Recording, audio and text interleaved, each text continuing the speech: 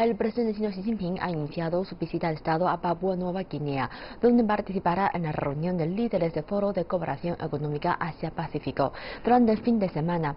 Este viernes fue recibido en el Parlamento por el gobernador general del país, Bob Ade. Durante su estancia en Papua Nueva Guinea, el presidente chino también se reunirá con líderes de naciones insulares del Pacífico para compartir visiones sobre los lazos diplomáticos.